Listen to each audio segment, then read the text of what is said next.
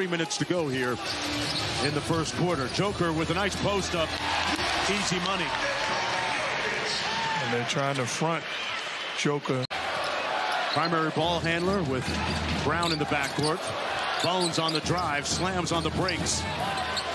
Tough shot falls. Not in between weight room sessions, right? I think he's stronger this year. Seems like it. 31 to 26. Bones! Way out! And he knocks in the triple. Trying to get a two for one. Phoenix wasn't ready for it. Brown fires the three.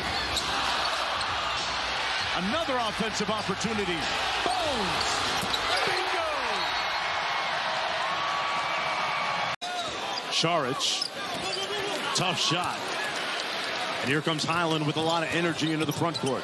Bones pulls. Man, he was intentional about squeezing that one off, Mark. And that wasn't even a set play. That was Joker bringing it up the floor and making the play to KCP. Here he is leading the break. Bones, another three. Butter. Man, he is feeling himself. After playing overseas in Australia, really carved a niche for himself here in Denver. Here's Bones. Off the staggered screens. I tell you what, he's hotter than fish grease right now. There's Bridges. Big time block. Got it back.